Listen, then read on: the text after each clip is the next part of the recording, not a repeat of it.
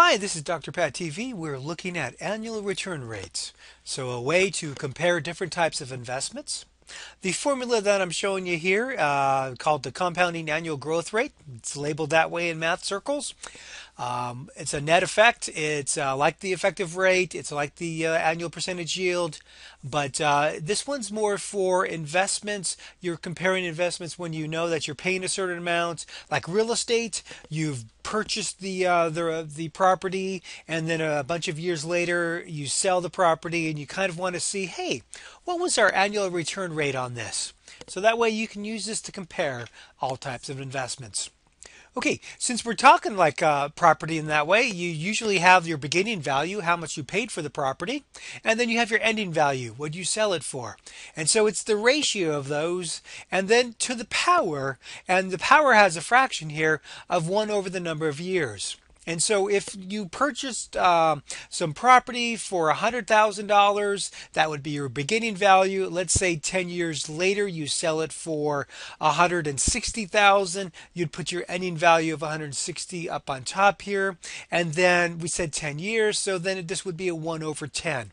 And so when we do this calculation and then minus 1 over here, when we do this calculation, we get a decimal version of the rate and then move it two decimal places for your percentages. So that's the formula. I want to show you uh, an example of this and I also want to show you the algebra where we get this formula. How was this formula made? Well, we're going to start with basically the uh, the very basic future value and present value 1 plus r to the t power. So this is our, our very generic compounding formula. And now how do we make this kind of more intricate involved formula on top here? And so here's here's our steps. Here's the algebra steps. So technically what we're doing is we're going to take this nice generic formula and we're going to solve for r. Okay, because this is what this is. This is basically that compounding annual growth rate. That's a rate, that's R. So our first step to solve this is to get rid of that P. It's multiplying, so we'll divide both sides by the P. Okay, and that's where you get in that fraction, ending value over beginning value, future value over present value. You know, your starting value on the bottom, your uh, uh, ending value on top there. Okay, so that's where that fraction is coming from.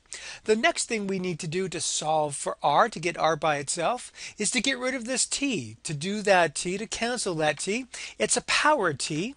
And to cancel a power t, we use the t root. So the tth root here. And so basically, a uh, 1 over t power will cancel a t power. And so that's what we're looking at here. And so that's where you're seeing this fraction in the formula, 1 over the number of years, because our time frame for this is years. And so when we're looking at an annual return rate of an investment over a period of years, your, uh, your t value is years. And then our last step to get r by itself is to get rid of this 1. And so we're going to subtract the 1, and that's why you're seeing that 1 there. And so that's the algebra to make the formula for our compounding annual growth rate. So this is a way that we can use to calculate how our investments have turned out. So now let's take an example of this. Uh, talking about property, I've got a property in 2004. I originally paid for this thing for 127.5. And then in the year 2008, I have a decision. Do I sell my property for 212 or do I hold on to it? Now, some of you who know the history probably to yelling right now at the screen, sell, sell, sell, because things went bad in 2008. And so then in 2011, when I finally did sell it, I sold it for 143.4. And so basically the question I'm looking at is like, ah, by not selling it at 212, how did that impact me in terms of the annual rate of return? Because annual rate of return, that's what we use to compare investments. All right, so let's take a look at that. So from 2004 to 2008, uh, we had a beginning value of 127.5. Ending value, I would have sold it at 212. It would have been for four years, so that's why I one fourth. And then when you do this calculation, uh, move the decimal places two places because this calculation actually gets you a 0.1356. So by moving it two decimal places, I get my nice percent.